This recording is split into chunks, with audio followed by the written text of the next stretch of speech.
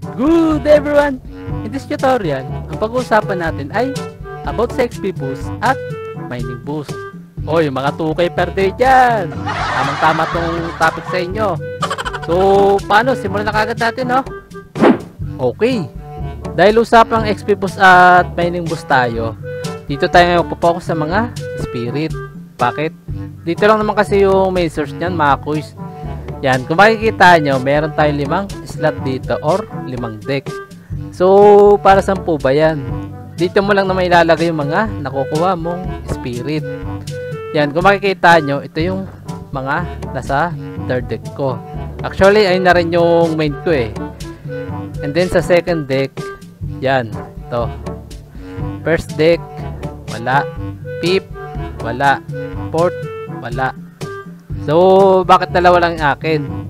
Nakadepende sa inyo mga quiz. Kasi ako, dalawang deck lang talaga ginagamit ko eh. XP deck lang at mining deck.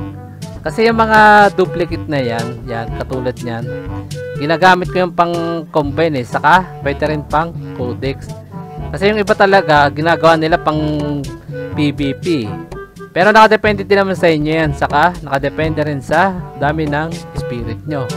Ikaw, para sabay ang deck mo. So ayun, dito na tayo sa pinakapunto ng topic natin. Uunahin na natin yung mining boost. So, pang ilang deck nga bang aking mining deck? Ito yung mining deck ko mga kuys. Yan, pangalawa. So, ano nga ba yung sekreto ko dyan? Bakit tinawag na pang mining boost? Ito yung kasagutan dyan mga kuys. Yung pickaxe na spirit treasure. Yan, kung makikita nyo sa second deck ko, puro pickaxe yung nakalagay. Yan. So, ilang porsyento po ba kabilis yan? Yung epic, 10% yan mga quiz yan, 10.5. And then yung rare, 6%. Yung uncommon, 3%. Yung legendary, hindi pa natin sure eh. Kasi wala pa ako nun eh. Actually, 6 seconds na lang yung pagmimina ko. What if pa pala kung makakuha pa ulit ako ng another epic or legendary pa, no? Siguro, less than 5 seconds na lang yun. Pero hanggang what if na na siguro tayo, no? Question, may sample po ba ng pagmimina mo dyan, boss? Yes po, meron. Okay, kung makikita nyo mga quiz, nandito tayo sa minahan.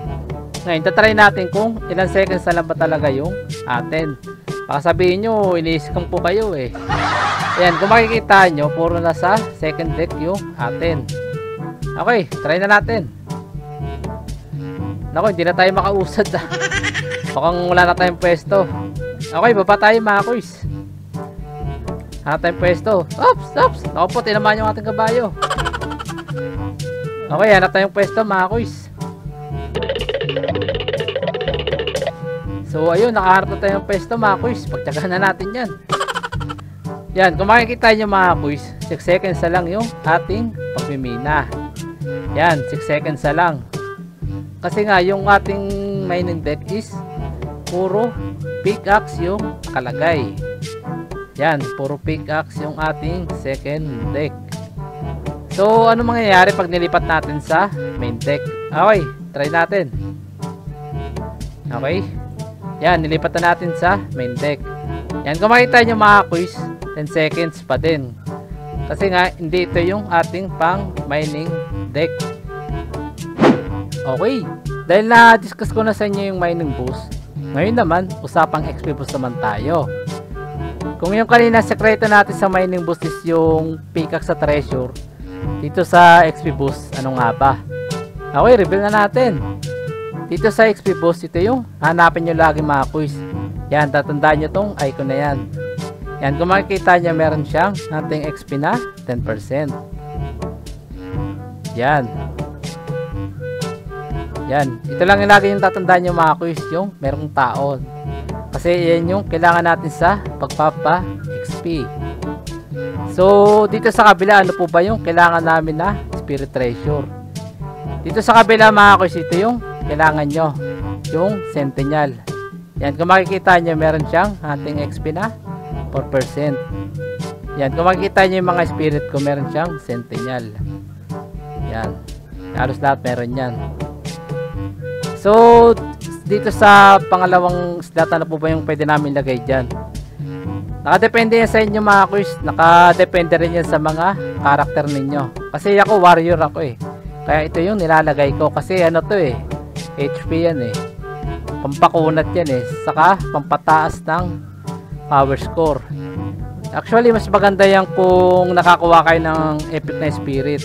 Yan, katulad nito. Kasi, tatlo yung pwedeng ilagay. Yan, tatlo rin yung sa kabila. May example ba na XP boost dyan, boss? Yes po, meron din tayo example dyan. Okay, nandito tayo ngayon sa mga monster.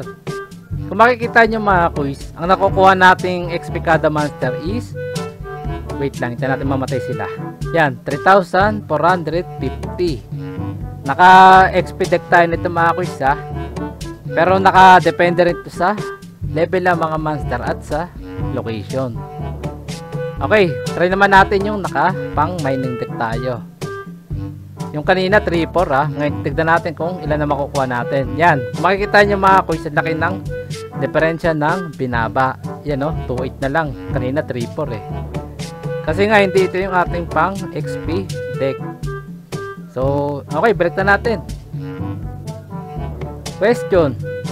Meron po bang iba pang way para gumamit ng XP boost? Yes po, meron po. Ito yung tinatawag na Sarmati. Saan po ba makikita yung Sarmati na yan? Dito yun mga quiz. Yung sa may parang torotot. Yan, pindutin nyo lang yan.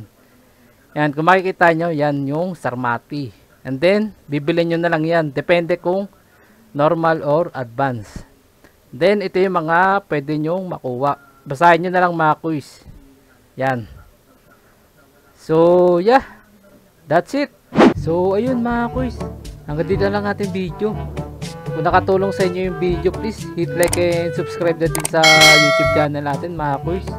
Para updated kayo sa mga next upload natin about sa Mirpor. Also, kung gusto niyo sumali ng Discord server namin, nandiyan sa description yung link. Join na lang kayo. Open kami sa lahat ng games na also yung Mirpor.